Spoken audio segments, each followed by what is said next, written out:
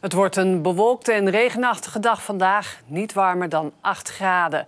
Het is vrijdag 20 februari. Dit is het TV West Nieuws. Ik ben Martine Boerkamp. Goedemorgen. De gemeente Rijswijk praat vandaag verder over het beladen benefietgala op 8 maart. Gisteravond konden de partijen niet tot een oplossing komen. De gemeente voert al twee dagen gesprekken met politie, justitie en de organisatie van de bijeenkomst. Over de liefdadigheidsbijeenkomst in het zalencentrum in Rijswijk ontstond vorige week ophef omdat er salafistische imams zouden spreken. Minister Koenders besloot dinsdag de visa van drie van de sprekers in te trekken. De organisatie reageerde verbijsterd. Tijdens het gala zou geld ingezameld worden voor vluchtelingen uit Syrië. De gemoederen rond de bijeenkomst lopen hoog op. Zo zouden verschillende groepen willen demonstreren op de dag van de bijeenkomst. En ook kregen sympathisanten van de organiserende stichting dreigbrieven. Een motie van diepe treurnis vanwege het feit dat de gemeente de afgelopen jaren een slechte greep had op grote bouwprojecten, heeft het gisteravond niet gehaald in de Delftse gemeenteraad. Alleen een aantal oppositiepartijen steunde de motie. Daarin stond ook dat een nieuw dreigend tekort is te wijten aan intern amateurisme en een gebrek aan politieke sturing. De andere partijen willen eerst een raadsonderzoek naar de problemen afwachten.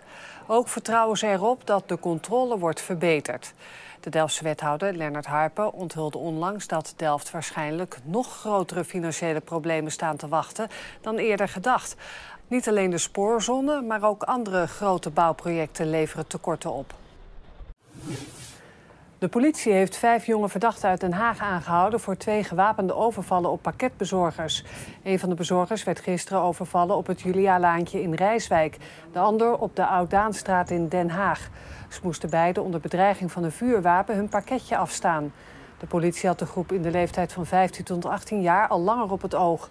De politie vermoedt dat de groep ook verantwoordelijk was voor andere overvallen. Mogelijk gaat er naar gas geboord worden langs de A20 bij Maasland. De NAM wil daar een nieuwe boorlocatie aanleggen. Gisteravond gaf de Nederlandse aardoliemaatschappij een presentatie voor het college en de raad van Midden-Delfland, waartoe Maasland behoort. Ondanks dat de NAM er alles aan deed om de twijfels bij de gemeenteraad weg te nemen, zijn ze er nog niet gerust op. De raadzaal in Schipluiden zit vol. Niet alleen raadsleden, maar ook buurtbewoners zijn gekomen om duidelijkheid te krijgen over mogelijke boringen bij Maasland. Een belangrijk gebied voor de NAM. Maasland is een van de 175 kleine velden in Nederland. En kleine veldenbeleid van de overheid draagt voor ongeveer 30 tot 40 procent bij aan de Nederlandse energiehuishouding. Daarom proberen zij door middel van een presentatie de raad te overtuigen. Maar die zijn er na afloop nog niet gerust op. Het gaat meer om de, om de verzakkingen die er plaats kunnen vinden, waardoor grondwaterstanden kunnen veranderen en waardoor ongefundeerde huizen in deze, in deze gemeente natuurlijk eh, eh kapot kunnen gaan. Vooralsnog is voor mij nog niet aangetoond dat we daar een nieuwe boring moeten gaan doen. Uh, het is een gaslaag bij een andere gaslaag. Het is een heel klein veld. En tuurlijk kun je zeggen het is nuttig. We willen ook niet alles in Groningen laten zitten.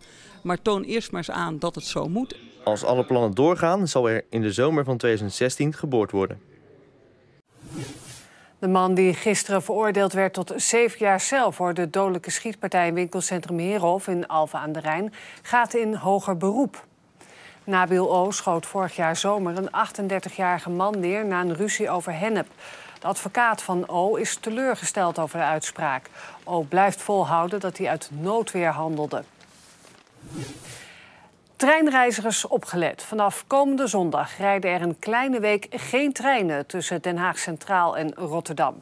Dat komt door werkzaamheden aan de nieuwe spoortunnel bij Delft. Na vijf jaar bouwen is hij eindelijk klaar. Alleen de sporen moeten nog worden aangesloten op het bestaande spoor. Dat gaat komende week gebeuren.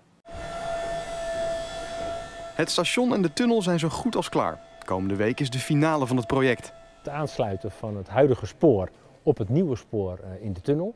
Maar ook dat wij bovenleidingen gaan plaatsen voor stroomvoorziening. We gaan ook seinen plaatsen. Dus alles zodat een trein daar kan gaan rijden.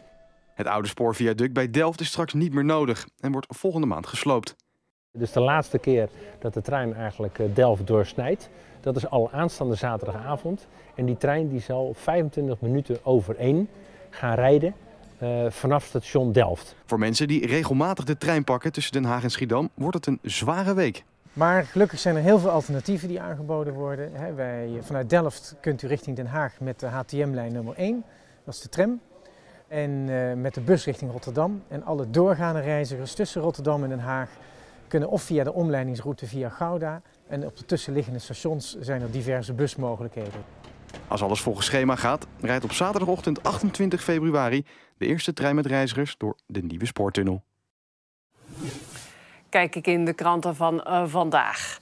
Hagenaars hebben in 2014 meer gevallen van illegale prostitutie gemeld bij het meldpunt Meldmisdaad Anoniem, schrijft het AD. En dat is een opvallende stijger tussen de ruim duizend meldingen die vorig jaar vanuit de Haagse regio bij het meldpunt zijn binnengekomen.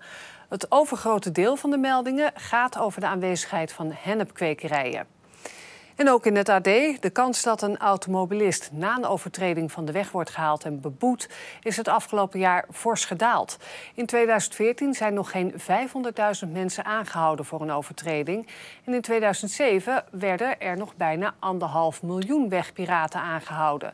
Volgens verkeersdeskundigen kunnen verkeershufters ongehinderd hun gang gaan doordat de snelwegpolitie is verdwenen. De nieuwe rotonde op het kruispunt van de Westduinweg en de Zeesluisweg op Scheveningen is te krap voor vrachtverkeer en bussen. Daarvoor waarschuwen ondernemers in de Telegraaf. De rotonde is al deels klaar en voor de helft in gebruik. De gemeente laat weten dat de rotonde juist breder is dan andere rotondes, maar dat gebruikers dat pas merken als hij helemaal af is. En dit was het voor nu. Om half zes is er weer een nieuwe uitzending van het TV West Nieuws. Blijf ons tot die tijd volgen via omroepwest.nl, Facebook en Twitter. En natuurlijk bij de collega's van 89.3 Radio West. Nog een fijne dag.